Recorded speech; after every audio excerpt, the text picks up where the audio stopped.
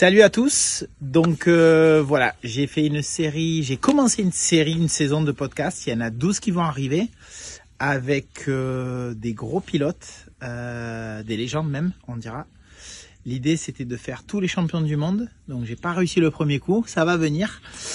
J'ai euh, la chance et l'honneur de vous dire que ça va être diffusé sur MX2K. Donc euh, voilà, j'ai essayé d'en faire un premier sur moi, vous expliquer pourquoi, parce que, et vous faire découvrir jusqu'où on va aller. Donc si vous avez des critiques, euh, n'hésitez pas à nous laisser des commentaires, ça me fera vraiment plaisir de m'améliorer pour les prochains coups. À bientôt.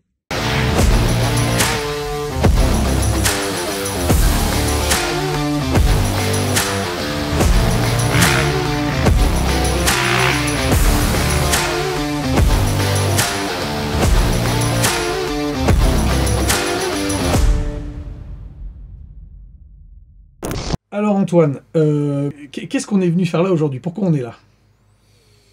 Alors on est là euh, pour parler un petit peu de de mon expérience. Euh, trou- en fait j'ai trouvé à la base une idée de Red Bull au Touquet qui m'ont fait venir pour un partage de- d'expérience. D'accord. J'ai trouvé ça très intéressant et en fait, j'ai pas réussi à trouver d'interlocuteur média qui aurait pu publier ce que j'ai envie de dire. Et du coup, je me suis dit, il faut voir avec Alban qu'on fasse un truc bien. Donc voilà, on est là pour parler de mon parcours, euh, de mon jugement, bon ou mauvais, Mhm. de ce que je pense. Et voilà. Alors, ton parcours justement, est-ce que... Alors, je- je- tous les fans d'enduro te connaissent évidemment, mais euh, au-delà de ça, qu'est-ce que... C'est quoi ton parcours toi? Que- Comment tu as commencé dans la moto? Qu'est-ce que qu'est-ce qui t'a intéressé au départ? Comment, comment tu t'es jeté là-dedans? Alors c'est un parcours un peu atypique, dans le sens où j'ai commencé très jeune. Euh, mon père faisait de la moto. Euh, j'ai commencé à 4 mètres de on est. Euh, avec un Piwi, 3 ans et demi ou 4 ans. La passion, moi, c'était vraiment faire de la moto, rouler. Mon père, très jeune, me faisait faire des balades. J'allais à l'école en moto. Je faisais quelques courses, du cross. Mais euh, j'allais à l'école en moto et vraiment, euh, ouais, vraiment, je roulais. J'avais besoin de personne pour rouler, il me fallait de l'essence. Donc, euh, j'ai beaucoup habité chez mes grands-parents parce que ma mère est tombée malade jeune. Donc, mon grand-père ou ma grand-mère, tu peux leur demander, ils te diront que je siphonnais tout ce qui traînait. à 5 ans, j'étais capable, de, avec un tuyau, siphonner une deux chevaux. Largement, c'était dans mes compétences. De faire le mélange et d'aller rouler avec la moto, tu vois. Donc, voilà, ça, c'était grosso modo ma vie. Euh, Il y a un gros paramètre qui rentre dedans, c'est que Michael Machou est d'ici, et euh, on était amis avec lui. Donc il roulait tous les mercredis, tous les samedis quand il n'y a pas de course. J'allais rouler avec lui, tout le temps. Et euh, Mickey était un petit gabarit. Tu sais, il doit faire euh, pff, 1m70, euh, 65 kg, quelque chose comme ça. Du coup, il était capable de prendre ma 80, de faire un tour de repère, et de faire des sauts de fou et de me dire voilà, aujourd'hui le meilleur pilote, la référence elle est là. Et du coup, en fait, moi, grosso modo, je, faisais des courses de ligue, tout ça, mais j'allais pas au championnat de France, rien du tout. Euh, C'était vraiment. euh, à l'entraînement, tu vois, le niveau était plus haut à l'entraînement. Je sautais des sauts à l'entraînement qu'en course, il n'y avait jamais quoi. Quand c'est que tu as su que, que tu avais le potentiel ou est-ce que tu t'en es rendu compte à un moment donné? Toi tout seul ou on te l'a dit Comment ça se passe Bah, c'est difficile de s'en rendre compte. euh, non, non, non. Alors déjà, ce qu'il faut savoir, c'est qu'à 12 ans, euh, je m'en souviens très bien aussi, mon père, euh, donc j'avais qu'une moto, forcément la moto, elle prenait 800 heures par an, elle était poncée à la fin. Du coup, mon père, il dit, ah, cette année, euh, on essaie d'acheter deux motos, une d'entraînement, une de course, ça sera mieux. Parce que mon père faisait des sa- saisons de boulanger, donc il n'était pas là l'été, donc c'était moi à, à 10 ans qui faisais la mécanique. Ouais. Donc je t'explique pas le chantier. Et du coup, euh, il me dit Qu'est-ce que tu veux faire? Et je pense que là, c'est une question qui a, quand même grosso modo changé ma vie parce que mon père, à 12 ans, il t'attrape, il te dit Bon, qu'est-ce que tu veux faire? Bah, Toi, pris d'un élan de folie, tu dis bah, euh, Je veux faire pilote de moto, professionnel, comme Mickey. Ouais, bah, à partir de maintenant, on va travailler. Et tu sais, ce, ce, ce truc-là a été violent parce que tu te dis, on va travailler, le soir, t'es excité, tu dis, ah putain, j'ai ma chance. Et là, en fait, le matin, il dit, ben, euh, on va faire un truc. Si tu prends le bus le matin, le soir, tu rentres de l'école en courant. Donc, il faut calculer qu'il y a 8 km. Donc le soir, mon voisin prenait mon sac à dos et je rentrais en footing. Et là, quand tu cours le long de la rivière, tout Ouais. seul, tu te dis, mais pourquoi j'ai dit oui? Et sur le coup, pas plus que ça. Après, plusieurs fois. Plusieurs fois dans ma vie, je me suis dit, putain, mais pourquoi j'ai dit oui? Et c'est ça qui a forgé, euh, on en a parlé des, des dizaines de fois tous les deux, c'est ça qui a forgé chez toi le, le goût du travail en dehors. Tu sais, on disait souvent, Méo, il est toujours en train de rigoler aux, aux compétitions, mais il- les gens voient pas tout le travail qui était fait euh, avant. C'est là que tu, c'est à ce moment-là que, que le cerveau, il, il se, il se, il se, il se formate pour dire, ok, maintenant, euh, si je veux être un champion de haut niveau, un athlète de haut niveau, il va falloir travailler. Non, on me l'a inculqué. Après, des personnes, tu vois, grosso mon cursus, c'est ça. Euh, donc j'ai fait euh, la ligue en 80. Au moment de passer en 125, j'étais. En fait, non, à 13 ans, j'étais trop grand pour le 80. Tu vois, à 12 ans, j'étais bien. 13 ans, j'étais trop grand, je cassais des cadres et tout. Mais j'étais inconnu au bataillon, je faisais pas championnat de France, rien du tout. Je crois que. À 12 ans, j'ai cassé euh, 12 cadres dans l'année. Ils en pouvaient plus chez Honda. Ils en ont pris 8 en garantie, je crois. Et après, les cadres, ils en pouvaient plus. Et le, le- le gars de chez Honda appelait le concessionnaire pour savoir qu'est-ce que moi je faisais avec la moto. Si je sautais des immeubles ou. non, mais grosso modo, tu vois. Donc, on a un ami, on en a racheté un, il avait renforcé. Ça pétait toujours, quoi. Mais tout ça parce qu'en fait, indirectement, aujourd'hui, je sais t'expliquer pourquoi. Il y a 10 ans en arrière, même 20 ans, même mon père, il sait pas te dire pourquoi. Ouais. Mais en fait, c'est Machio. Machio, en fait, il prenait ma moto. Le niveau d'un pilote lambda en 80, il était là, et lui, il le mettait là. Et en fait, euh, un jour, on va à une course à Pertuis. J'étais dans la moyenne. Et euh, j'avais 11 ans. On est allé faire la course à Pertuis et ils avaient modifié le terrain. Et euh, grosso modo, pour te dire, ils avaient fait un camel. Le matin, il y a dû y avoir au moins 10 ou 15 clavicules glacées. Mais avec les gens en 125, en 2,5, tu vois. Des... Ouais, ouais. En fait, mais moi, je sautais le saut. Mais il n'y avait rien. Moi, j'étais trop content qu'ils aient fait un saut comme ça. Et, euh, et en fait, après le départ, ça faisait un virage. Il y avait deux tables. Et à l'entraînement, Macho m'avait fait sauter les deux tables. Du coup, moi, en fait, depuis toujours, mon état d'esprit, tu m'apprends un truc, c'est validé, on n'y revient plus dessus. Ouais. Moins à l'école. Mais sur la moto, c'est beaucoup plus ça. Et, euh, et en fait, euh, donc j'arrive à la course, c'est la finale de la ligue. Et en fait, là, aux essais, je commence à sauter le truc et tout. Les commissaires affolés. T'imagines, un commissaire qui a 60 ans, il est là, il voit un gosse en 80 qui saute deux tables d'affilée. Et les gars en 2,5 ou 125, ils le faisaient pas. Ouais. Donc là, ça a commencé à gueuler grave. Ils ont fait une chicane. Entre temps, j'ai cassé le câble de la moto. Et, euh, et aujourd'hui, ce circuit, il a une chicane depuis. Ils ont gardé les deux tables, mais la chicane, elle est. Mais tout ça pour te dire qu'en fait, euh, mm, elle est où la limite? C'est la personne qui te l'inculque, tu vois? Donc, euh, j'ai voulu passer en 125, mais j'étais trop jeune, pas l'âge, pas de licence. Du coup, mon grand-père est tombé malade en Italie. Donc, mon père a décidé qu'on parte tous là-bas pour euh, essayer d'aider la famille. Et du coup, ben, là-bas, la vérité, c'est qu'on a bricolé euh, les papiers. Euh, j'ai pas la double nationalité, mais là-bas en Italie, euh, j'ai une carte d'identité et une licence avec un an de plus. D'accord. Donc j'ai pu rouler en 125 là-bas, quitte à être là-bas, on faisait des courses. Ouais. Ce qui est incroyable, c'est que j'ai fait euh, du championnat d'Italie. Euh, j'ai dû faire championnat d'Italie 125 cadetti, ça s'appelait. Je crois que je- j'étais, euh, je pouvais pas gagner parce que le premier roulait très très fort. Euh, je me battais pour la deuxième place. Le premier qui roulait très fort n'a jamais rien fait. Il a joué un titre de champion d'Europe plus tard quand j'étais, mais c'est jamais allé plus loin que ça. Contrairement à tout ça, il y avait Keroli. Keroli, je crois, il doit faire 14 ou 15. Il y avait euh, Salvini, il y avait Philippe Hertz, il y avait euh, De Angelis, il y avait vraiment beaucoup de monde que par la suite on a retrouvé. Tu vois, Ouais, c'était une grosse année de. champions, ouais. Et, euh, et tu vois, à, cet- à cet âge-là, ben, qui est l'un des plus titrés, il n'était pas à son avantage. Ouais. Tu vois, comme quoi, des fois, la vie, c'est bizarre. C'est pas bizarre. En fait, c'est quand tu prends du recul que tu comprends.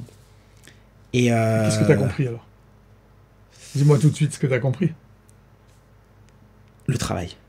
Keroli, techniquement, c'est pas ouf. Euh, L'entourage et le travail. Moi, Keroli, je l'ai vu se métamorphoser devant moi. Ouais. Il passait du gars qui se qualifiait jamais. Une année, il roulait chez Honda avec un 125. Il a fait tous les grands prix, il s'est jamais qualifié. L'année d'après, il a gagné des manches, il finit quatrième du mondial. Alors, de ton point de vue à toi de champion, et avec ton, ton vécu à toi, ça tient à quoi ces petits, euh, ce, ce passage de cap Parce que toi, t'en as passé aussi. Tu pourras, on pourra en parler, mais Ouais, ça ouais. tient à quoi? Déjà, euh, tu sais, quand tu roules derrière, que tu te bats tout le temps, tout le temps, tout le temps, c'est dur. Très dur. Et, euh, et lui, en fait, ce qui s'est passé, c'est qu'il a galéré pendant des années. Il s'est affûté les chicots dans une structure où il était. La fédération, en fait, c'est pour ça qu'on est là aujourd'hui. Vraiment, on va discuter d'une chose très importante. C'est qu'en fait, en Italie, passé un moment, la fédération donnait des sous à des teams pour sortir des jeunes. Mhm. Et ça, ça vaut zéro. Parce qu'en fait, ils donnaient des finances à une team. Honda Martin, qui était le team où j'ai roulé par la suite, prenait les sous, le mettait dans la poche, mettait le pilote là, ils encaissaient. Et en fait, ça, c'est pas la bonne solution. Du coup, ce qui s'est passé, c'est que l'année d'après, ben, en fait, la fédération a insisté et ils ont donné le- l'enveloppe à De Carli. De Carli a pris euh, le petit Keroli. Et en fait, de là, il a créé un entourage autour de lui. Et l'entourage, il fait 90% des choses. Et du coup, à partir de là, après, ça fait une explosion.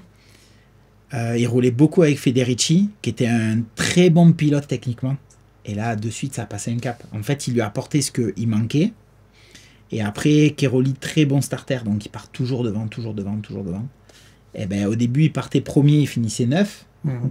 Après, il partait premier, il finissait 5. Après, il finissait 4. Et après, il restait devant. Et du coup, et après, l'entourage. Il a toujours été là. Là, Keroli, euh, il quitte son team. Ça fait 20 ans qu'il travaille avec le même team. C'est du jamais vu, quoi. Ouais. Donc, euh, donc voilà, c'est dur. Toi, t'as le. Alors, c'est pas la même histoire aussi, mais toi, quand, quand- à quel moment tu. Qu'est-ce qui fait que tu passes un cap? Comment, maintenant que tu analyses ta carrière euh, Ben, en fait, c'est au retour d'Italie. Donc, on fait ça. Mon grand-père va mieux. mon- On rentre en France. Euh, je continue à rouler tranquillement avec ma chio, tout ça. Et là, ben, forcément, 14 ans, on fait la course de ligue. On va à la première course de ligue. Et là, je, je faisais plus le même- sport qu'eux, quoi. Et euh, du coup, il y a un gars de la ligue, il dit à mon père, euh, il, ça- il travaille toujours, c'est un instructeur, c'est Jean-Marc Charpin, il dit à mon père, mais il faut aller au championnat de France. Mais mon père, il dit, mais qu'est-ce qu'on aille foutre au championnat de France? On avait un vieux camping-car, une moto. Il dit, non, mais il faut y aller et tout. Et en fait, on, la, c'était une époque où il y avait des qualifs de début d'année. Donc on va à la course, elle était euh, à Voart, pas très loin d'ici. Il pleuvait tout le week-end, donc déjà on arrive, nous, euh, moi de- du sud, la pluie, tu vois, c'était pas mon fort déjà. Mais euh, ce qui m'a sauvé, c'est que le dessous était dur. Donc déjà on arrive un pneu, dur. Tu vois, dans la moto, les pneus ça compte beaucoup. Ouais, ouais, bien sûr. Moi j'avais un pneu arrière et c'était un pneu dur. Et euh, bah, du coup, je gagne les deux manches. Et en fait, par la suite, mais beaucoup de choses, tu vois, on a rencontré une personne ce jour-là qui m'a présenté mon mécano avec qui j'ai travaillé pendant 10 ans, 15 ans. Et euh, tu pourrais lui demander, il a appelé mon mécano en lui disant, il faut que tu viennes voir, il y en a un, il va plus vite dans les virages qu'en ligne droite. Et tu vois, ce gars-là, il vient voir mon père. Alors mon père, déjà, ce qui... imagine la, la scène. On a un vieux camping-car 508. Je sais pas si tu vois ce que c'est. C'est très vieux déjà, de base. C'est celui qui est là-bas? Non, Non, il pire. est plus là, il est plus là. Ah ben oui, non, non, mais pire, pire, pire. C'est un camping-car Mad Max. D'accord. Et euh, mon père, botte en caoutchouc, bleu de travail. Tu vois, la vraie salopette bleue de plombier. Ouais. Ouais, et avec la moustache et tout, Michou, boulanger. L'autre, il vient voir mon père, il dit euh, Tu vas lui changer le pneu? Mon père, il regarde, il fait Non, il est nickel. Il dit Mais c'est un pneu pour le dur. Bah, il dit Alors? Et du coup, le gars, il dit Mais, mais toi, t'es fou, toi. Donc, je gagne les deux manches. Le, le type là, en fait, il avait un gros camping-car. Il vendait des pièces sur les courses, des accessoires. Et c'est de, après, c'est devenu un ami. Et le soir, il est arrivé, il m'a offert un pneu. Il me dit Franchement, jeune, faire ce que t'as fait avec ça, il m'a donné un pneu. Et du coup, il me dit, mais t'as pas des pneus pour faire la saison et tout? Alors mon père, il dit, non, mais quelle saison? Ben, Il dit, là, il, il a gagné, vous allez faire tout champion de France. Mon père, il dit, on n'a pas un radis. Tu vois, et puis les courses, elles étaient loin, quoi. Ouais. Et du coup, ben, lui, il nous trouve des prêts avec Bridgestone. Donc ça démarre un peu comme ça. J'ai fait 4 courses, 5, 4 du championnat de France, seul avec mon père. Et là, en fait, à une course, il y a un, gars qui vient voir mon père, c'était l'entraîneur de de France. Et il dit, mais d'où vous sortez-vous Comment tu t'appelles? Alors mon père, il dit, bah, je m'appelle Méo, ça. Mais on vous a jamais vu. Ben, mon père, il dit, bah, je sais pas, on a... Bon. Il dit, a quel âge ton fils? Ben, Il dit, 14 ans. Ton fils, il a 14 ans. Et à partir de là, le gars, il dit, attends, ça nous intéresse et tout. Entre-temps, il y a un pilote qui se blesse. Moi, j'avais deux contrats avec personne. Donc, le pilote se blesse en milieu d'année.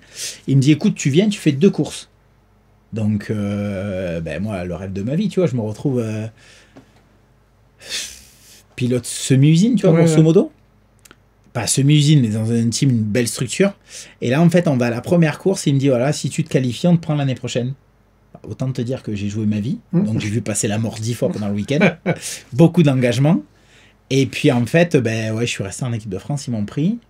Euh, très difficile avec la fédération parce que pas de pas de cursus et euh, tu sais de, de Quand pas tu, fait dis, quand tu dis très difficile avec la fédération, tu penses, enfin toi tu, tu oui pour toi tu, tu, tu dis que tu as toujours eu des problèmes de communication avec la fédération, c'est ça que tu veux dire?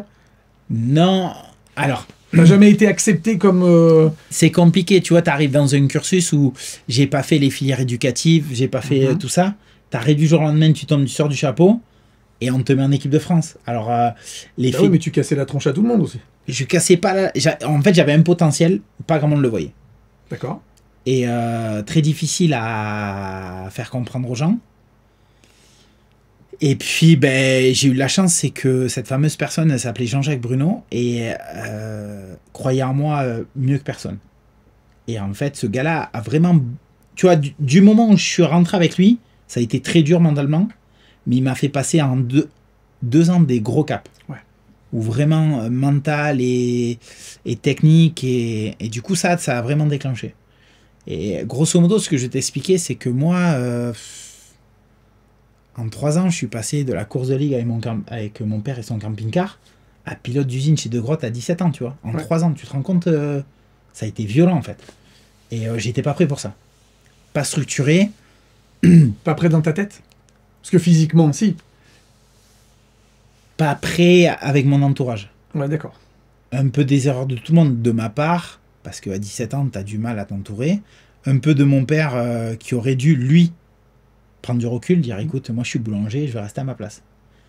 Et, euh, et du coup, voilà. Ça, c'est mes erreurs. Mais par contre, euh, ce qui est compliqué, c'est que tu vois, il y a beaucoup de gens qui investissent beaucoup dans leurs enfants très tôt, trop tôt. Mm. Euh, tu pars à l'Europe en 65, mais tu sais pas. Tu sais pas. Et tu, tu, tu, tu peux briser quand même une famille et, Et un enfant. et un enfant. Moi, j'ai vu des choses de fou. Tu vois, donc suite à ça, je suis passé 17 ans, euh, la chance, toujours macho. Donc, tu sais, euh, comme, comme je t'ai expliqué, euh, moi, ma carrière, je la vois comme une pyramide. Donc, Macho est une grosse pièce de ma pyramide. Mon mécano Fred aussi. Jean-Jacques Bruno aussi, un gros pilier. Et après, ben, Jacques Vimon, beaucoup d'entraîneurs, tu vois.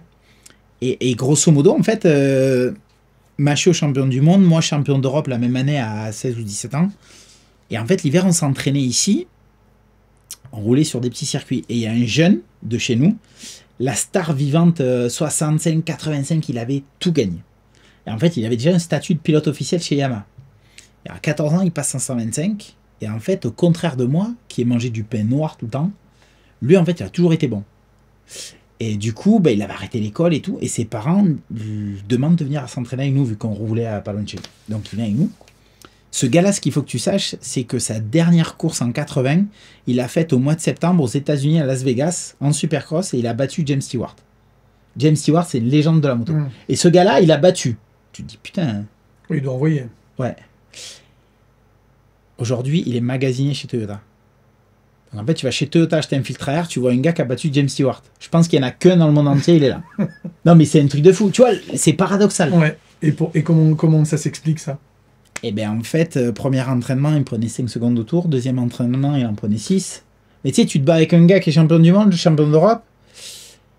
Et là, en fait, ses parents, ils disent Bon, mais maintenant, il va falloir s'entraîner. Il va falloir travailler. Le terme exact, c'est maintenant, il va falloir travailler. Il dit Mais moi, j'ai du talent. Ouais, mais là, il faut travailler. Ben, moi, j'ai toujours eu du talent, j'ai jamais travaillé. Et ce gars-là, il n'était pas prêt à travailler. Et en fait, tout ça, alors d'une part, ça l'a dégoûté de la moto. Ce qu'il faut imaginer, c'est que la moto, c'est quand même un loisir, un sport. Et du coup, ben, malheureusement, euh, lui, en fait, il a dit à ses parents J'arrête. Les parents, ils avaient vendu la maison, le machin. Et il a dit J'arrête, je vais travailler. Il a tout arrêté. Ouais.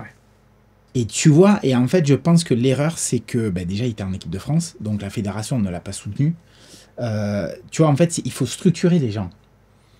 A. C'est ça ton message principal, c'est de, il faut euh, les, les jeunes sportifs, même au- au-delà même de la moto, mais là parce qu'on parle de moto, il faut, euh, il faut presque contre eux les, les entourer et les, et les guider. en fait, il faut juste calmer un petit peu les parents, calmer. Tu vois, la, la fédération où je suis pas d'accord. Moi, mon fils, sa moto, elle est d'origine. le petit voisin avec qui euh, il roule, qui a un gros potentiel et qui sera, je pense, s'il n'y a pas de gros pépins, si j'arrive à gérer son père. hein. Ouais. Parce que son père fait euh, gros paramètres dans la chose. hein. Euh, ça sera euh, un pourcel, tu vois, largement. Par contre, moto d'origine. Tu vois, là, il va aux courses, il finit cinquième, il est énervé, le gosse. La moto, elle est d'origine. Il se bat avec des gamins qui ont des motos à 15 000 euros. En fait, le fait d'avoir des motos vachement préparées trop jeunes, tu compenses. Le gosse, en fait, il apprend pas la technique. Il, tra- il travaille moins. Ben oui, il- Mmh, il- la moto le fait pour lui. Mmh. Et du coup, en fait, au- dans les petites catégories, l'écart est comme ça. Et en fait, plus ça avance, la moto, plus tu la prépares, la différence moins liée. Par contre, le gamin qui a appris à se servir de ses jambes, du regard à éviter les trous, Et, ouais. Et c'est comme ça que comme ça. t'inverses le truc. ouais. et du coup, c'est c'est relativement marrant, tu vois. Euh, Il y a un pilote aujourd'hui qui révolutionne. En fait, c'est pas qu'il révolutionne. Euh, Il y a Jane Lawrence qui arrive, on le voit comme le Messi. Parce qu'en fait, ce qui s'est passé ces 5-6 dernières années, on est retourné à des pilotes beaucoup avec un gros cœur. Moins de technique, beaucoup d'engagement, les pieds un peu qui traînent, un peu chiffon, tout ça. Et en fait, on retrouve un pilote qui reroule avec une vraie technique. Et là, on dit, Mais en fait, non, on avait Pourcel il y a 10 ans. Son caractère, son personnage, qu'on aime ou qu'on n'aime pas, qu'on juge. Moi, je l'ai vu faire des trucs de malade mental. Du talent. Une technique, un toucher de moto, une facilité. Sauf que ça, déjà, ben, on le laisse mourir. Tout ça, tout ce savoir, il est dans une personne qui est encore vivante. Mais cette personne, il faut qu'elle parle, il faut qu'elle explique aux jeunes. Tu vois ce que je veux dire? Et derrière, on en sortira 10 ou 15 des, go- des gosses comme ça. Mhm. Parce que c'est, il avait quelque chose de différent de nous. Et en fait, ce qui se passe, c'est que tout ça, euh, aujourd'hui, ce pilote, on le voit, on dit putain, il sort du lot. Mais non. Quand il roulait en 80, c'est Pichon qui m'a dit ça. J'ai eu Michael il y a pas longtemps au téléphone, on en discute. Il me dit, mais Antoine, euh, à 14 ans il- ou 13 ans, il roulait avec son, son 80 Suze à Lommel. Il était écœurant à avoir roulé. Écœurant de facilité. Il dit, tu vois des gars qui faisaient le mondial, ils n'avaient pas sa technique. Ouais. Et le gars, il roulait avec un 80 Suze il y a 5 ans. C'est c'est une daube. Ouais. Et tu- on te la donne, tu la prends pas. Et lui, il roulait avec ça parce que les parents, ils s'étaient saignés pour le père, pour le grand frère. Et du coup, eh ben, souvent, ce qui se passait, c'est que lui, il faisait pas de course, il faisait que les entraînements, mais que avec des bons. Et en fait, quand ils ont signé le grand dans le team, ils ont vu le petit, ils ont dit on prend les deux. Ouais. Et de suite, qu'est-ce qu'ils ont fait aux États-Unis? Le père, il a eu la brillante idée de euh, travailler avec Johnny O'Mara, qui était dans les années 80 un pilote super en avance sur son temps. Il n'a pas gagné beaucoup de titres, mais il était très technique et très précis. Et en fait, aujourd'hui, ben, ce Johnny O'Mara, c'est l'entraîneur et il lui a inculqué la technique. Et du coup, ben, on retrouve un pilote avec une technique, avec une finesse, avec. euh, et comme je t'expliquais, aux nations, tu le mettrais seul, t'enlèverais tout le monde. Que lui qui roule, tu dis, il se traîne, il roule à l'arrêt. En fait, il est tellement facile, tu le vois pas prendre des risques. Ouais. Tu vois Romain Fèvre, à contrario, qui met beaucoup d'engagement, il dépense beaucoup d'énergie. Et du coup, en fait, tu dis, mais putain, Romain, il, là, il fait le temps de sa vie. Et en fait, il est à 3 secondes. Ah ouais, putain, merde.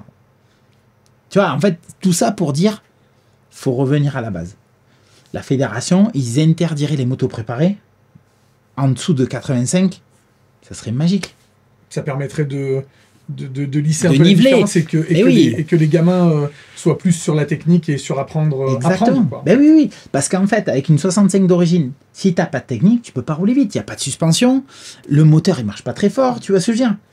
Et là, du coup, euh, ben, tu prépares la moto. Tu te rends compte, une moto à 4000 balles, tu la fais arriver à 15 000, c'est un dragster. Ouais.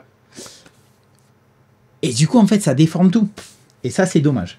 Comment, comment ça se fait? Comment on t'explique que euh, pendant euh, X années, même une bonne dizaine d'années, l'équipe de France, elle a, elle a piétiné un peu tout le monde dans le monde entier, avec toi, avec, euh, avec Nambot, avec Pela, avec d'autres, et qu'aujourd'hui, on n'est plus cette, cette hégémonie-là, ce, ce petit truc en plus. Pourquoi on n'a plus de, de gens qui cassent la tronche à tout le monde?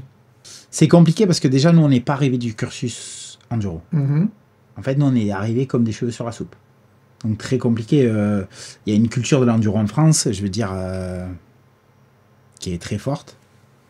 Moi, je suis arrivé là, je suis sincère, je suis arrivé là par déni. En fait, grosso modo, en 2005, je roulais chez Husqvarna, ça se passait très mal la saison. Il y a eu un mondial à Digne, donc j'ai demandé à Husqvarna de me passer une moto. J'avais pas le permis, j'aurais demandé une 125 homologuée pour faire l'enduro de Digne. Et ils m'ont dit, quand tu arrives là-bas, il y aura un gars, il s'appelle Adzaline, euh, t'iras le voir, il aura une moto pour toi. Mais je te jure, ça s'est passé comme ça. Moi, j'arrive vendredi matin, il me dit, ah, on va essayer la moto, tout ça. Je prends la moto, je pars. Un dragster, je dis, waouh, trop bien. Donc, en fait, ce qu'il faut savoir, c'est que moi, j'étais en motocross. Donc, la semaine, je m'entraînais, tu vois. Donc, j'arrive là. On va au training. Après, euh, ils me disent, euh, tu sais changer un pneu? Je dis, bah ouais, je mets euh, 20 minutes. Ils me ah, on va t'apprendre. Et puis, une fois qu'on finit le pneu, tout ça, on passe la moto contrôle technique. Donc, c'est 4 heures l'après-midi. Et là, ils me disent, euh, comment tu les trouves, les spéciales? Bah, je sais pas. Et il me dit, comment ça, tu sais pas? Ben, j'ai- pas vu, moi, les spéciales. Et là, il me dit, mais tu sais, en enduro, il faut marcher.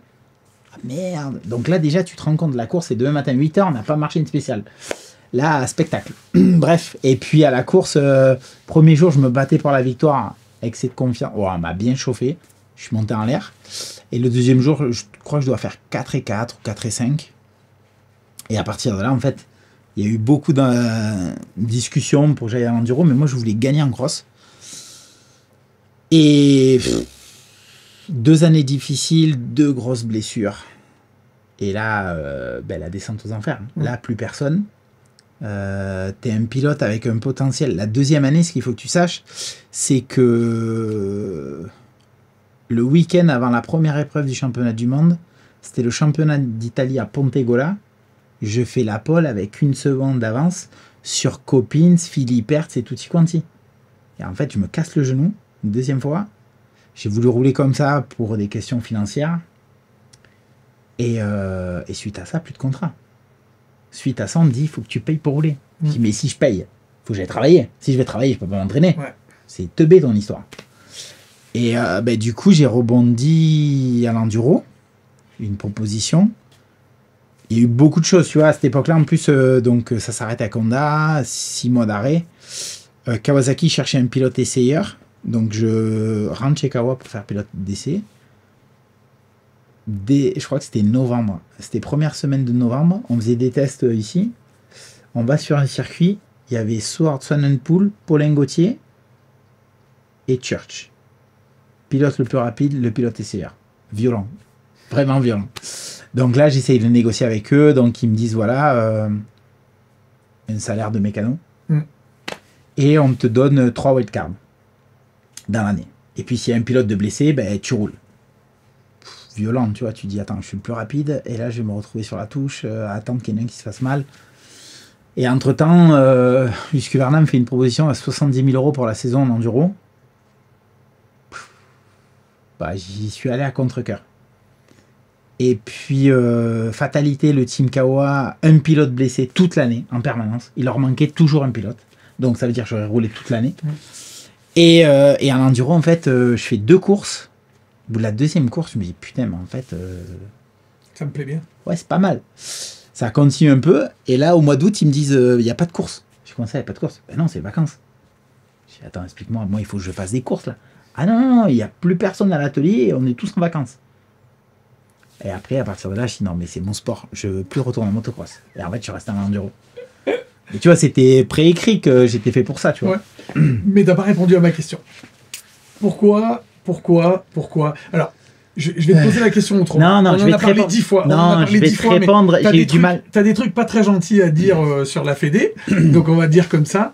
Pourquoi? Pourquoi t'es en pas en colère, mais pourquoi t'es désappointé par euh, par les relations que t'as à la Fédé? Puis je vais même te poser la question aussi un peu autrement, d'un néophyte comme moi. Comment ça se fait que quand t'as des des euh, des jeunes retraités, puisque vous êtes tous des quand même des jeunes retraités, multiples champions du monde, comment ça se fait que vous n'êtes pas euh, au moins euh, dans les teams France ou, euh, ou pas loin des teams France, en tous les cas, comme, euh, comme conseil, accompagnateur, appelle ça comme tu veux. Pourquoi? Bon, Nambot, il y est, Pela aussi. Il n'y a que moi qui suis pas fait pour ça. Alors, on reprend la base. Je sors d'un cursus fédéral quand même. Mm. J'étais pilote d'équipe de France motocross. En fait, on est toute une génération qui sont arrivés. Donc, euh, c'est pas parce que tu es crossman que l'enduro ça marche. Mm. Déjà. Mais par contre, on a eu de la chance, c'est qu'on est arrivé, euh, Johnny Aubert, N- euh, Nambot, Pela, moi, Après, il y a eu Larieux, après, il y a eu Boissière, il y en a eu. On a plus ou moins bien tous réussi, mais euh, déjà, l'enduro, c'est très technique. Plus le pilote il est technique, plus ça va sublimer. Johnny Aubert, c'est un talent de la nature. Et en fait, en enduro, il s'est sublimé parce que c'est son sport, tu vois. Après, il y a un deuxième paramètre, c'est qu'il faut une force de caractère. Johnny, un petit peu moins la force de caractère euh, dans le combat direct. Et du coup, euh, il est passé un peu à côté de certains trucs. Mais par contre, euh, ben, tout ça pour te dire qu'en fait, on n'est pas passé par le cursus fédéral d'enduro. L'entraîneur de l'équipe de France Enduro, il est adorable, hein, il est très gentil. J'irai pas en vacances avec, mais il est très gentil. Il est finisher de la Gilles classique, quoi. Qu'est-ce que tu veux dire? Et Je veux dire qu'en fait, euh, Raoult, il te dit, dans la vie, il y a des sachants. Raoult, c'est un sachant. Et comment tu peux expliquer à quelqu'un une technique que tu n'as pas? Tu vois, moi, je suis arrivé en enduro, j'ai arrivé du cross, j'étais prédisposé, euh, parce que là où j'habite, dans le domaine où j'habite, c'est super facile. Et en fait, euh, je me suis entraîné comme un chien à comprendre pourquoi. Parce que il y a personne qui m'a appuyé sur l'épaule en me disant Attends, je vais t'expliquer. C'est moi qui ai tout découvert. C'est moi qui ai travaillé. Et une fois que j'ai travaillé, je suis arrivé là, il a fallu que je travaille encore plus pour creuser l'écart. Et du coup, en fait, tu sais, euh, quand tu passes des journées à calculer comment tu peux mieux passer. Mais quand toi, tu travailles avec un entraîneur qui se dit entraîneur fédéral, qui est, pour moi, c'est le summum, tu vois. Je veux dire, nous, nos entraîneurs fédéraux, euh, heureusement que maintenant, il y a Gauthier, tu vois. Mais euh, il y a Vendette Bosch aussi. Mais à part ça, moi, je te garantis ça fait peur. Tu parles d'un côté, tu as Joel Smith, de l'autre côté, tu as euh, deux costers. Deux costers. Tu peux pas comparer deux costers et Fino. Il est gentil, Pascal. À un moment donné, un chat, c'est un chat, quoi. Moi, tu me demandes d'aller faire démarrer le tokamak, je te dis, mais c'est pas mon métier. Mm. lui, non, lui, il y va, il dit, attends, il touche sur le bouton, moi. Non, mais c'est, tu vois, c'est un paradoxe. Alors moi, ce qui me rend malade, c'est qu'en fait, on a un patrimoine. Tu sais, en France, on a des cathédrales et en France, on a les champions du monde de moto. Cross, enduro. Mais ces gens-là, il faut y aller. Je veux dire, aujourd'hui, tu prendrais Peter Ansel, tu ah, appelles tous les pilotes français. Tu leur dis, il y a Peter qui vient deux jours, il vient vous donner un stage. Je te garantis que le stage, il se remplit. Et tu repars, tu as appris quelque chose. Même si Peter, ça fait 20 ans qu'il n'a pas fait de course. Même moi, qui suis à la retraite, je pense j'y vais parce que j'ai envie d'apprendre quelque chose de Peter. Mais tu vois la différence? Et après, c'est un état d'esprit. Après, tu vois, là où je suis vraiment en désaccord, c'est qu'en 2019, j'ai fait euh, les six jours pour le motoclub de Zerem pour euh, Kiki Boulet. Et, euh, et, en fait, c'est là, quand tu prends du recul et que tu vois l'équipe de France, à quoi elle ressemble, ça tire la gueule, tu sais, une atmosphère de merde. Mais en fait, ça, c'est les gens qui l'inculquent. Ouais. Tu vois ce que je veux dire?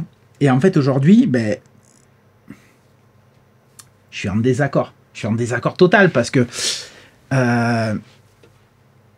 ils ont cet hiver, ils sont allés faire un stage dans le sable. Je veux dire, on a des spécialistes en France. Tu sais pas faire. Tu prends un, intervenant, un intervenant hum. qui, lui, fait un stage et qui apprend des choses à des pilotes. Et là, en fait, ils, ont publié une vidéo. Donc, quand tu publies une vidéo, toi, ton métier, c'est ça. Tu choisis que les meilleures séquences. Ah ouais, c'est de faire un truc joli, quoi. Ouais. Qui, donne envie, en fait, qui fait rêver. Ah ben là, oui, oui, ça faisait rêver. Il y avait des chutes ça a bourré de l'avant, les pieds écartés, la position d'avant, la moto elle bouge de derrière, et là tu te dis mais qu'est-ce qu'ils font? Mais c'est pas possible. C'est pas du tout comme ça qu'il faut rouler dans le sable. Là tu prends Jet Lawrence et tu prends eux, c'est complètement l'opposé. Et on te dit je comprends pas. Ah, si moi je comprends de suite. et là tu vas remettre tes pieds sur les cale-pieds, tu vas te mettre un peu en arrière, tu vas regarder loin et tu vas garder du gaz. Ça va être de suite différent. Et pourquoi t'entraînes pas toi? Alors, j'entraîne pas parce que. Euh... Est-ce que t'es pas bon? Ouais. Non, parce que je suis trop exigeant avec moi-même. Et si j'ai pas une personne réceptive en face de moi avec le même niveau d'exigence, ça marche pas. Donc en fait, je pourrais entraîner, mais que vraiment tout en haut de l'échelle. Tout en haut pour aller chercher la perfection. Uh-huh. Et euh, avec le recul aujourd'hui, je peux te dire que je suis capable de. Déjà petit, hein, j'étais capable de passer une journée sur le même virage, tout seul. Et puis, euh, et puis après, euh, ben, Christophe Meyer m'a inculqué ça. Il y a, Mais il n'y a pas plusieurs manières finalement de devenir champion. Toi, t'as- toi, tu as fait ça, mais peut-être Nambot, il a fait autrement, Pelay, il a fait autrement, d'autres d'autres euh, pilotes étrangers ont fait autrement. Les grandes lignes, elles sont là. C'est-à-dire, c'est quoi les grandes lignes pour toi? Si tu dois résumer là, les grandes lignes, c'est quoi? Grosso modo, Hum, euh, privilégier la qualité à la quantité. Donc, euh, au lieu de s'entraîner des heures et des heures, faire des heures de moto, ben, tu retournes à la base, travailler la technique, la technique, la technique. Tu sais, grosso modo, hein, je vais t'expliquer. Un pilote euh, qui a des défauts, tu lui fais faire des heures de moto et des chronos, il va augmenter ses défauts. Il va pas s'améliorer, le gars. Oui, on peut penser que si tu lui expliques pas où sont ses défauts, oui, il n'y a pas de raison que. Oui. Mais si, mais, mais par contre, si tu prends le temps de passer une journée sur un virage, sur un geste, sur une technique, ben, le gars, il va s'améliorer. Il va faire 5 heures de moto dans la journée. Par contre, il va s'améliorer. Mhm. Toi, tu lui demandes de faire euh, 10 minutes de chauffement, deux manches de 40, il va te cramer un embrayage, une paire de plaquettes de frein, et il ira pas plus vite. Il aura toujours des défauts. il aura toujours les défauts. Et le problème, tu vois, comme KTM avait demandé à une époque euh, d'entraîner Bellino. Euh, 2017, je crois. Ça n'a pas marché. 2016, ça n'a pas marché. Il, Mathias, euh, bon pilote, tec- techniquement gros pilote. Personnage atypique, on l'aime, on l'aime pas. euh, mais par contre, euh, ben, en fait, tu lui expliques quelque chose. Tu lui fais voir que c'est mieux il te dit qu'il a compris, tu travailles le virage d'après, le virage d'avant, il refait comme il avait envie. Tu dis, mais moi, garçon, j'ai pas de temps à perdre, et toi, t'as rien à faire avec moi. C'est pas compliqué. Ouais. Oui, on peut penser que ça, on peut penser, ouais. On sent que t'es euh, t'es, euh, déçu ou, euh, ou, euh, pas, blessé, mais déçu de, de, de, de- pas de comportement, mais de, de finalement de voir parce que en fait toi c'est l'équipe de France, c'est quelque chose que t'as aimé en fait et que t'aimes toujours et de finalement de pas voir les Français euh, euh, toujours euh, au top, c'est un truc qui t'ennuie. C'est ça que tu veux dire en fait? Oui. C'est pas que ça m'ennuie, c'est qu'on pourrait enclencher des champions à l'appel. On a un savoir. Mm. On a, tu, tu comprends ce dire? On a un patrimoine, on a un savoir. On l'utilise pas pour des raisons que j'ai mon a priori dessus. J'ai pas envie de le dire. Moi, ça me fait chier parce que chaque année, on pourrait sortir un champion du monde. Chaque année. Mm. Et là, on le fait pas. Et là, en fait, il y a des jeunes pilotes qui arrivent qui ont un potentiel. Et en fait, on les aide à s'enterrer. Tu sais, le jeune, au lieu de l'aider à réussir, tu l'aides à s'enterrer. Toi c'est comme ça que tu analyses les trucs là quand tu parles des, des entraîneurs de l'équipe de France, c'est ça que tu veux dire? Grosso modo, ouais. Il les aide à. Moi, je sais pas, je suis pas du tout dans le monde de la moto. Je dis ça pour tout le monde là. Je voilà, mais euh, du coup, les entraîneurs d'équipe de France, pour toi, ils sont pas au niveau. C'est ça que tu veux dire? Bon, toi, tu vas vraiment chercher la merde. Mais euh, ils ont pas le savoir. C'est compliqué quand il n'y a pas le savoir. Moi, je peux pas faire prof de maths. Je sais pas faire. Et je reste à ma place. Non, mais après, je suis Non, mais on s'en fout. euh, On te demandait d'aller vite sur une moto dans Exactement. des spéciales. Ça, je pense que là, pour le coup, t'as un peu montré que tu savais faire quand même. Un tout Oui, petit peu. oui, tout à fait. Mais du coup, euh, moi, ce que je sais pas faire, je vais pas l'inventer. Mm. Si j'ai envie, je m'intéresse, j'apprends énormément, je me cultive, mais je vais pas t'expliquer comment il faut faire. Tu joues au rugby, tu sais jouer au rugby, je vais pas arriver, je vais dire, oh là là, passe, elle était pas bonne. Mm. Je sais pas faire. Et là, tu vois, c'est des gens qui savent faire ça, et, et en fait, non, non, non. Et après, voilà, je suis. C'est comme ça. C'est dommage. Mais complètement, complètement. Et puis les gens, ils, ils croient. au- Les gens, ils, ils rêvent du monde des bisounours. La vérité, elle est là. Tu veux l'entendre? Ben oui. Tu veux pas l'entendre? Ben fais ton avis. Ça va pas marcher. Alors, qu'est-ce qu'il faudrait faire bon, déjà? D'après toi, qu'est-ce qu'il faudrait faire? Déjà, tu fais 4 stages par an. Donc, grosso modo, tu as fait un tous les deux mois avec un champion du monde différent. C'est facile. De deux jours. Déjà, tu ramasses tous les pilotes qui traînent. Tout le monde veut venir. Parce qu'il y a quelque chose à apprendre. Tu fais des pas. Tu sais, ce qu'il faut que tu saches, c'est que Christophe Nambotin, déjà, euh, moi, quand j'avais 14 ans, je suis arrivé en équipe de France, que je t'expliquais que l'équipe de France m'a sélectionné. Lui, il était avec Jackie Limon. Il était offici- officiel pilote Kawasaki et il était officiel Oxbow. Je te garantis qu'à cette époque-là, quand habillé Oxbow, mon parent, c'est pas, c'est même pas s'il avait un contrat Nike, c'était la classe. Et en fait, il roulait, mais c'était la folie. Il... C'était la succession de Tortelli. Mhm. après, ben, on, on, on va l'asseoir ici, il va nous le dire. À un moment donné, ben, il faisait un peu trop la fête, un peu si les gonzesses, et euh, Jackie lui a demandé de choisir, il a choisi une direction, et euh, après, de suite, plus compliqué. Ouais. Mais si Nambotin a eu cette carrière, c'est grâce à Jackie Vimon. Il aurait pu avoir mieux, mais s'il a fait ça, c'est grâce au bagage de Jackie. T'en parles souvent de Jackie Vimon. Ben, il a marqué ma carrière. C'est indéniable. Il a marqué ma personnalité, il a marqué mon caractère, il a marqué beaucoup de choses. On a travaillé trois ou quatre ans ensemble. Mhm. C'était super agréable. Euh, on a travaillé ensemble quand j'étais arrivé à un stade de maturité. J'avais 23 ou 24 ans. J'y suis allé de mon plein gré. Ça, c'est très important. Tu peux pas imposer quelque chose à quelqu'un qui n'a pas envie, Hum, hum. Tu peux pas aider quelqu'un qui veut pas être aidé.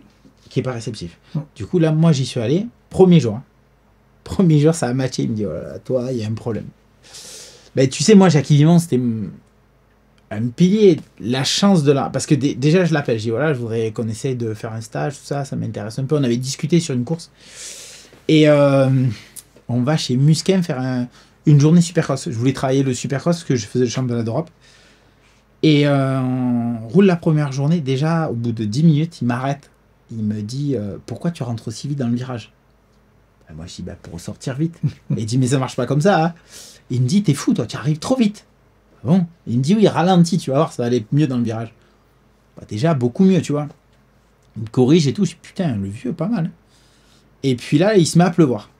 Le matin, on pouvait pas rouler le lendemain. Il me dit Écoute, euh, ça te dit de rouler dans le sable? Moi, j'avais pas du tout la moto, tu vois. Ouais, je dis ouais, ouais, pourquoi pas? Il me dit, ah, je voudrais voir un truc. Donc on part, on fait 200 bornes, on va sur un autre circuit. Sauvage. On n'y est allé qu'une fois d'ailleurs. J'ai pas eu l'occasion d'y retourner. Et je me souviens très bien. En fait, il y avait eu. C'était une- sur une colline. C'était un circuit à lui qui s'entraînait avant dans les fougères. Défoncé. Et en fait, il y avait une. euh, Une marche en descente, tu vois, avec des gros Ouais. en bas. Et Ouais. en fait, euh, on fait euh, les tours. Donc il, il me fait partir pour une manche. Donc je me mets à rouler. Et là, tout- tous les 4-5 tours, il me faisait signe de sauter plus loin. Et du coup, euh, je commence à sauter les trous de plus en plus loin, tu vois.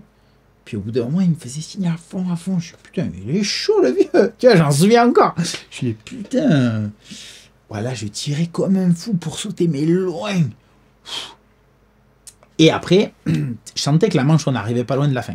Et il me montrait, tous les deux tours, il me faisait un tour. Je dis, putain, il me rend un con, lui. Puis je tu sais, c'est Jacques Vivant, tu continues à rouler. Au bout d'un moment, il m'arrête, il fait, mais t'es con, quoi. Ben, je dis, quoi? Ben, Il me dit, à chaque fois que je te mets un tour, tu continues. Ben, je dis, ouais. Ah, et tu me remets un tour. Ah ouais, il me dit, c'était pour voir. euh, comment il m'avait expliqué? Pour voir ta.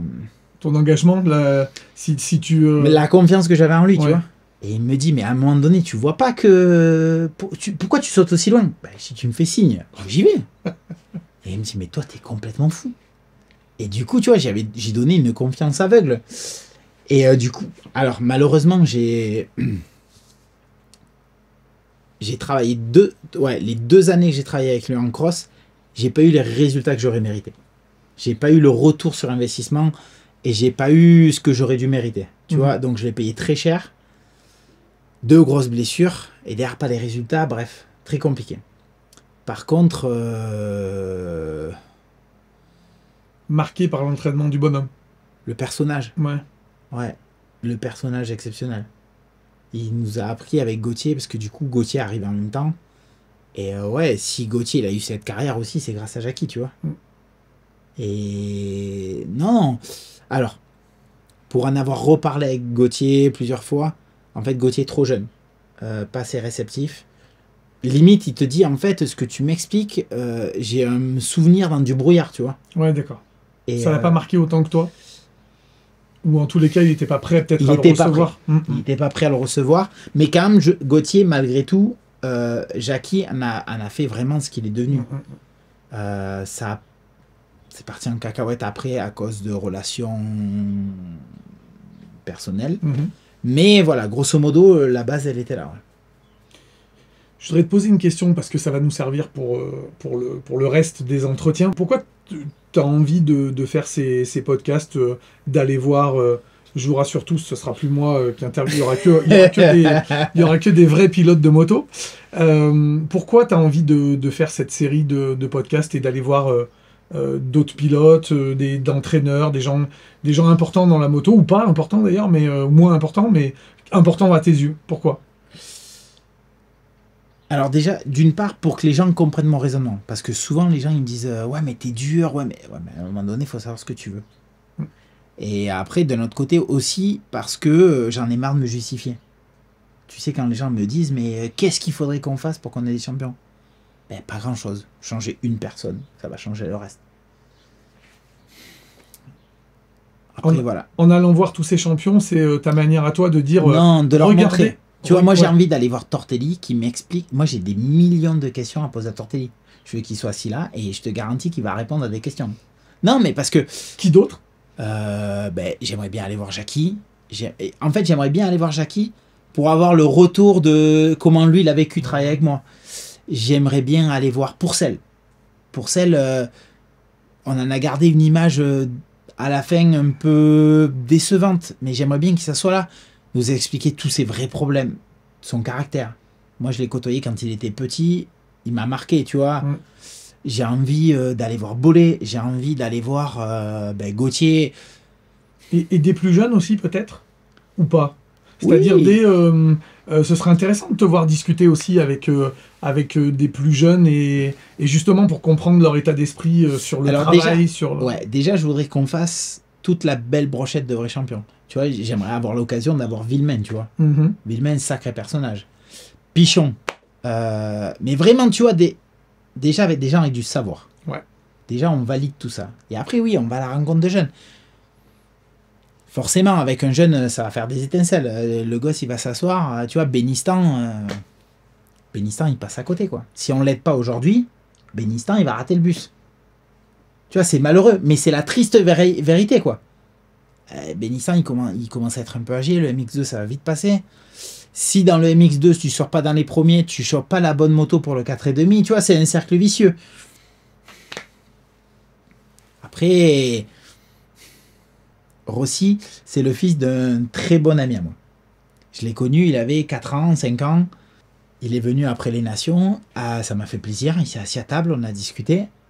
Euh, dur, il est au pied du mur. Il n'est pas arrivé, il est au pied du mur. Et là, le pied du mur, il fait mal. Il en laisse un paquet par terre. hein. Donc, en fait, euh, ben, la violence. Là, tu arrives, tu dis, mon garçon, c'est super bien. Mais là, ça commence. Comment ça, ça commence? C'est à partir de maintenant qu'il faut travailler. Tu vois ce que je veux dire? Et ça, quand tu as 17 ans, tu viens de signer un contrat à Red Bull chez Gaz Gaz, ça fait du mal aux dents. Ouais, tu comprends pas en fait. Ben ouais. Après, il faut des mots. J'ai peut-être pas le tact, j'ai peut-être pas ce que tu veux. Moi, je dis que la vérité. C'est le moins qu'on puisse dire. Oui, mais Mais au moins c'est euh, c'est honnête et c'est franc. Non? Oui, oui, oui. Tu vois, ça me fait chier. Un jeune d'ici qui a un potentiel, il fait tout ce qu'il faut pas faire. Là, tu dis, bah là. Et pourtant, tu le préviens. Mm. Moi, je l'ai vu il y a un an. Il m'a dit, j'ai ça, ça, qu'est-ce que je dois faire? J'ai dit, ben ça, tu seras que champion d'Europe et tu iras pas plus loin. Ça, tu vas prendre des branlées, mais dans deux ans, tu es là. Il est à quel âge? 17 ans, t'es en retard. C'est comme ça, c'est. C'est- organisé comme ça. T'as pas de il y a, coup, y fait- pas de, en fait, il n'y a pas de, de miracle.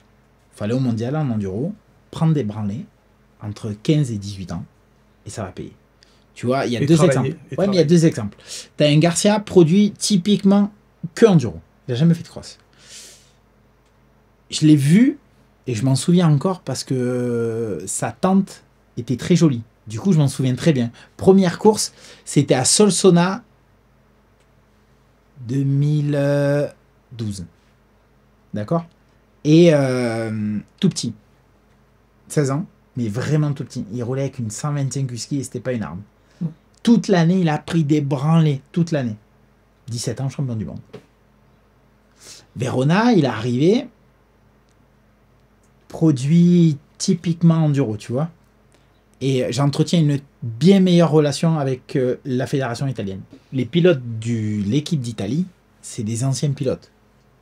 Tu vois, il y a Zani, il y a Cristiano Rossi, il y a Traversini, a... c'est que des gens qui ont roulé à haut niveau, qui n'ont pas fait une course, ils ont roulé.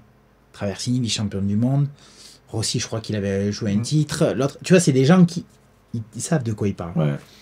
Et en fait, Zani, il y a, il y a un petit moment, je ne saurais plus te dire quelle date vraiment. Il me dit euh, Putain, il y a un jeune qui vaut quelque chose et tout. Il me fait voir euh, Verona. Verona avec un 125 TM. Je le vois, il me le fait voir au training. Il me dit T'as vu celui-là dans quelques temps? Bah, quand même, J'avais une analyse, tu vois. J'ai dit Non, non, là, je suis désolé, là. Une technique de virage très particulière. Vraiment difficile à analyser parce que. Son truc à lui. Déjà, il faisait un truc que moi, je n'étais pas capable de faire. C'est compliqué, tu vois, de, de juger. Je dis, ben là, franchement, euh, chaud, tu vois. Gosse, il arrive, il n'y a pas vraiment de freinage, pas vraiment d'accélération, il fait glisser la moto. En fait, c'était un mélange de beaucoup de techniques. Très grand, il bougeait beaucoup son corps sur la moto. Pas une grosse technique en l'air. Je dis, putain, il me dit, qu'est-ce que t'en penses? Ben, À la limite, j'y sape le moral, tu vois. Je dis, là, franchement, je dis, je sais pas. Je peux pas j'y crois pas. Aujourd'hui, j'ai rien à dire. Mais parce que, euh, gros, gros avantage du pilote, remise en question. Verona se remet perpétuellement en question. Et l'entourage, j'imagine. L'entourage. Mais du coup, vu qu'il se remet en question, il progresse. Et il valide. En fait, tu as des pilotes qui progressent, mais qui valident pas derrière. Et du coup, ils régressent. Et ils font le yo-yo tout le temps comme ça. Et du coup, bah, ils avancent pas. Pour avancer, en fait, il faut valider des acquis et tu passes à l'étape supérieure. J'ai encore une question euh, qui va sûrement pas être facile. en, quelques mots, si on veut résumer un peu tout ce qu'on s'est dit là, en quelques mots, qu'est-ce que tu dirais? C'est quoi ton message euh, envers les plus les jeunes ou les, les, les, ouais envers les plus jeunes, les pilotes, en tous les cas les pilotes, pas forcément jeunes. Et euh, c'est quoi ton message envers les entraîneurs? Et peut-être même la Fédé? En quelques mots, qu'est-ce que tu as envie de dire? Faut restructurer tout ça. Il faut mettre un frein au faut mettre un frein aux, filières éducatives, moto d'origine. On autorise un pot d'échappement et euh, suspension préparée. Terminé, pas plus. On arrête tout le reste. Euh, tu vois, par exemple, le petit voisin là qui roule avec mon fils s'appelle euh, Chayol, que je t'ai expliqué que mm-hmm. je maîtrise son père. on l'a envoyé faire deux épreuves du championnat de France Enduro Kid. Il a pris Yamaha, qui n'est pas la meilleure moto du plateau, qui est loin d'être la meilleure. Elle est d'origine, et les a massacrés. Et là, les autres, ils ont des motos à 12 000 balles. Donc, en fait, voilà, aujourd'hui, qu'est-ce qu'on veut faire? Du business ou sortir des champions? On veut sortir des champions. Déjà, pour avoir plus de monde sur la liste de départ, on met tout le monde avec des motos d'origine. Ça coûte moins cher. Et on revient juste à la base, le pilote, le talent. Et on organise des stages, des structures pour euh, techniquement faire évoluer nos pilotes. détecter les. Alors, ça, c'est vraiment pour l'éducatif. Après, je pense qu'en équipe de France, le, job de l'entraîneur, alors on va appeler ça un sélectionneur, hmm. plus joli. Le sélectionneur, il faut juste déléguer. Je veux dire, on a la chance de pouvoir déléguer. Putain, tu appelles des anciens pilotes, tu leur dis écoutez, vous venez deux jours, faites une formation. C'est un sachant. Je veux dire, Nambotin, il a été euh, ambulancier. Euh, il a été. Il a. En fait, la force, notre force, je pense, dans notre génération, c'est qu'avec Nambot, on a raté le coche en cross. Tu vois, si moi, aujourd'hui, tu me demandes qu'est-ce que j'ai raté en cross, pourquoi j'y suis pas arrivé, je te sors la, la liste exacte de ce que j'ai raté. C'est pour ça que j'ai réussi en enduro. Parce que les erreurs que j'ai fait en motocross, je les ai pas refaites. Tu vois ce que je veux dire? Là, aujourd'hui, ils ont sorti. Tu vois, Seb Guillaume, c'est un très bon pilote français d'enduro. Malheureusement, il lui a manqué chaque année ça pour être champion du monde. Malheureusement, il a voulu se mettre à, aller chercher ce qui lui manquait trop tard. Tu sais, au bout d'un moment, tu as du mal. Et là, aujourd'hui, la nouvelle génération, que ils refont pareil. Mais arrête, ça sert à rien. Là, il faut maintenant. Tu vois, ils attendent de sortir un pilote de motocross. Et. Euh, moi, quand... des enduristes, quoi. Oui, mais moi, quand on me dit on va faire comme les Italiens, on va prendre un pilote du cross comme Verona, je dis non, mais Verona, arrête de parler, toi, tu sais pas. Et pourtant, c'est euh, le directeur technique de, de l'enduro, tu vois. Mm. Tu dis, mais tu sais même pas de quoi tu parles. Et, euh, et pareil pour euh, Garcia. Garcia, pour moi, c'est le pilote le plus rapide au monde dans un virage. Mais par rapport à son gabarit, par rapport à tout ce que tu veux, et c'est un pilote qui n'a jamais fait de motocross. Tu le mettrais sur une grille de motocross, il n'est pas dégueulasse. et il n'a jamais fait deux championnats de cross. C'est un produit purement enduro. Donc en fait, juste, c'est possible. C'est juste qu'en fait, l'entraîneur en face, il faut qu'il soit bon. C'est juste ça. Tu peux faire progresser n'importe qui, mais en face, il faut des bonnes personnes. On les a. C'est juste qu'en fait, on ne veut pas. Et moi, ça me met, ça me fait mal au cœur parce que, tu vois, après, tu as un gars comme Blanjou, j'ai envie de l'aider. Il a pas envie. Tu peux rien faire pour lui. C'est compliqué. Et après, tout- Compliqué, non, non, pas compliqué, mais, euh, mais ça se comprend en tous les cas. Et puis toi, ce sport, tu l'as, tu, tu l'as tellement aimé et tu l'aimes tellement que c'est, euh, on peut comprendre que ça te, ça te blesse. Oui, oui, après moi je me suis mis des doses d'entraînement monstrueuses. Ouais. Mais vraiment où... Tu vois, en fait, il y a un pilote qui pourrait venir témoigner, qui n'a pas été champion, qu'on pourra l'asseoir là. Et lui, il va, il va te dire, déjà, parce qu'il était mature, ce qu'il a vraiment vu de moi. Parce que, après, les gens, ils disent, ah, t'es Marseillais, tu tu exagères. Ok. Lui, il va venir, il va te dire. Il n'y a pas de secret. Moi, en fait, je me mettais tellement des exigences à l'entraînement Hmm. que le jour des courses, c'était tellement facile que nous, au CH, au championnat du monde, avec le mécano, l'entraîneur et les potes, dans la journée de course, on réfléchissait à qu'est-ce qu'on allait manger au barbecue le soir. Bah ouais, Et en fait, tu te dis, putain, mais, mais pour, pour expliquer le gap que j'avais. Ouais, bien sûr, bien sûr. Après, avec Paula, c'était différent. On avait. euh, c'était vraiment engagé euh, les deux. Mais grosso modo, c'était ça, quoi. Et là, tu dis, mais. et en fait, les gens, ils comprennent pas le. Quand on arrive à ce niveau-là, à réfléchir à ce que tu vas manger le soir. Bon. C'est pas la même chose, tu vois. Qui a été ton adversaire le plus dur? C'est le, c'est celui dont tu m'as parlé euh, en Italie. finlandais, ouais. Ouais, le, Fin- euh, non, ouais, c'est le Finlandais. Ouais. Bien sûr. Oui, parce que tu m'as, tu m'as expliqué que, je sais plus quel pilote, tu m'as raconté que euh, euh, il était toujours derrière, il, il galérait, et en fait, euh, euh, non, celui qui était devant, en fait, était toujours 20%, euh, euh, il roulait 20% en dessous de ce qu'il pouvait, en fait, les mecs revenaient derrière, et lui, il pouvait accélérer Ah, sans ça, problème. Ben, ça, c'est le Jet Donc, Lawrence. Voilà, on en a parlé. Et toi, et j'ai rebondi en disant, toi, t'as subi un peu ça aussi.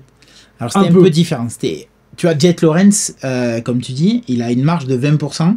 Donc c'est-à-dire qu'il roule, Sexton revient, il a 20% de marge de repartir. Du coup, euh, il a fait Alors ça. derrière, il est à fond. L'autre, il est à fond.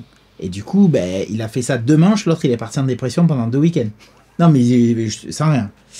Euh, moi, j'ai vécu différent. Moi, j'ai vécu un gars qui a pas de technique et qui te met des branlées. Et ça, c'est violent parce que tout ce qu'on t'a appris pendant des années, l'autre, il a pas les pieds sur les calpis, il est assis en arrière, il a les coudes en bas et il met du gaz. Il a un cœur gros comme ça et mentalement dur, très dur, mais violent. J'ai roulé deux saisons contre lui, contre Aola. C'est toujours la dernière spéciale qui te mettait une petite quiche, hein, je crois, c'est ça. hein. Personnage, ouais, personnage euh, exceptionnel. Et surtout, il faisait, euh, ça a un nom dans la psychologie, il t'annonçait ce qui allait se passer. Ça, c'est violent. Tu vois, moi, ça m'est arrivé un jour en championnat d'Italie, je gagne le premier jour. Le soir, il me dit, tu, tu m'as énervé, demain tu vas prendre. Je dis, mais tais-toi, le vieux, aujourd'hui, je t'ai mis une branlée, qu'est-ce que tu fais chier? Le lendemain matin, on arrive, il me dit, ah, tu vas prendre. Sa femme, elle me dit, il a pas bien dormi, tu vas prendre. Je dis, ah, mais fermez vos gueules. Donc on part, c'était trois tours, on fait les deux premiers tours, c'est moi qui étais en tête. On arrive à l'amorce du dernier tour. Il, au moment de pointer, il me tape sur l'épaule, il dit euh, La course d'enduro, elle commence maintenant. Je dis Ah, laisse tomber. Tu vois, on rigole. On part. Donc la spéciale, on l'avait- c'était la sixième fois qu'on la faisait. J'avais du genre gagné les cinq premières. Là, d'un coup, il m'en met 10. D'un coup. Quand tu sors de la... Mais je te jure, c'est comme si Tyson, il te fout une droite, tu vois.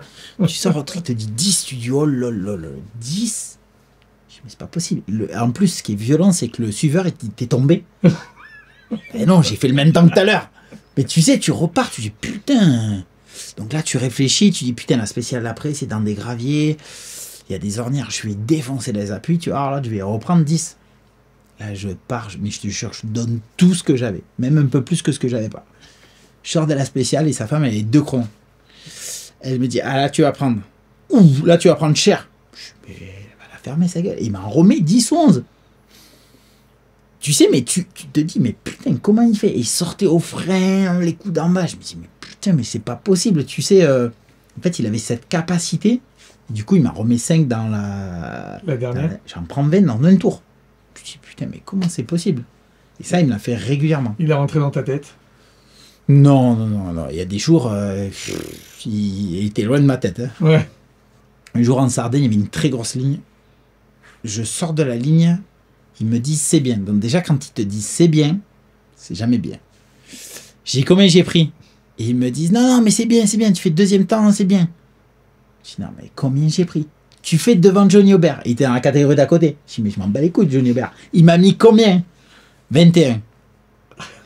À froid, 9h du mat, 21, tu sais, t'es sur la moto, t'as- Ils sont trompés. tu sais, tu dis combien? 21. Bah, tu repars, bah, là tu commences à calculer, tu dis il y a 3 tours, 21. Tu dis là, l'addition elle va être salée là. hein. Là tu dis bon, il y a une extrême, une ligne, une extrême, une crosse, je vais pouvoir un peu récupérer. Tu dis grand max, j'en récupère 5 ou 6. Non mais 21. Et ouais. Après, on en revient à la question. La faculté à apprendre cette course, j'ai pris la branlée. On a pris le bateau ensemble le soir. Il m'a titillé gentiment. On était amis, tu vois. On est arrivé ici. J'ai acheté tronçonneuse, débroussailleuse, tout ce que tu veux. On a refait exactement le même spécial. Je l'ai poncé pendant 4 mois. On a eu la même course. C'est lui qui a pris. Mais voilà, c'est une faculté à se remettre en question. Ouais, c'est ça. Et j'ai appris seul. Tu vois, tu peux demander à mon père, mon père va dire non mais lui il était mongolien, il est parti acheter la plus grosse des broussailleuses, le machin. Ils se sont mis là une semaine. Et après j'ai limé, limé, limé, limé pour arriver à ressortir le résultat qu'il fallait, tu vois. Mais j'avais besoin de personne. Et tout ce que moi j'ai appris, comment une personne qui ne le sait pas peut l'apprendre à quelqu'un d'autre? Difficile. hein? C'est la question. Mais on va essayer d'y répondre. Moi, j'ai une question. C'est quoi qui faisait que, que, que- ah, au moment où toi tu te dis putain mais c'est pas possible, tu sais, tu, ça te rend fou, tu vois. tu- mais lui du, du coup c'était quoi sa technique? Enfin c'était quoi le, le truc qui faisait que putain 21 secondes? Voilà, 21 secondes, il avait une technique que j'avais pas, il faisait des choses que je faisais pas, j'ai dû analyser beaucoup les vidéos. Après, il m'a fait un coup en Slovaquie, toute la journée en tête avec 5 ou 6 secondes d'avance tout le temps, tu vois. Il en prenait une, je reprenais une, mais j'étais tout le temps devant lui.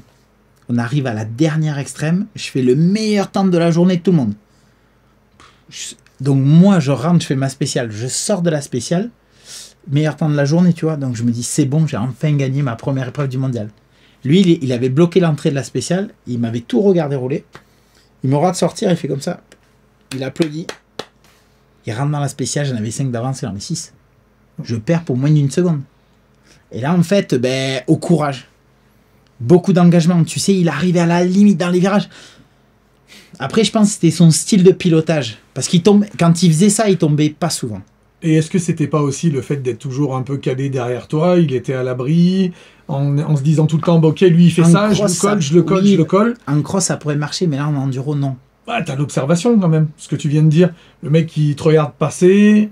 Ah, c'est plus compliqué que ça quand même. Ouais. Mais non, lui, c'était sa faculté. Tu vois, je crois qu'une fois, il a calé dans un virage, du coup, il n'a pas réussi à faire euh, la manipulation parce qu'il a massacré Cervantes en faisant ça. Et moi, ouais, non, moi, moi c'était. Puis je te dis, euh, après, il était aussi super humble parce qu'une fois, il gagne son titre en 2009 à. à- en France. Et moi, en fait, euh, j'avais gagné les trois dernières courses du mondial à la filée, tu vois. Ouais. Et j'étais revenu à 12 points de lui, mais en début d'année, j'ai eu grave de problèmes à ma moto. Et du coup, il, il restait une épreuve du championnat d'Italie, on était ex aequo. Et tu vois, le gars, il est arrivé en championnat d'Italie, à la course le week-end d'après, il me dit écoute, Antoine, le gars qui gagne ici, c'est le meilleur de nous deux. C'est lui le vrai champion. Je suis quand même. euh, Tu vois, il a des couilles de dire Ouais. ça. Et du coup, on s'est ressouillé jusqu'à la mort et il est monté en l'air. mais voilà, après, tu vois, mais c'était un sacré personnage, il m'a beaucoup appris lui. Bon, bah, j'espère que les podcasts leur plairont à tous. Exactement. Merci Alban pour ta question. Ouais, merci à toi.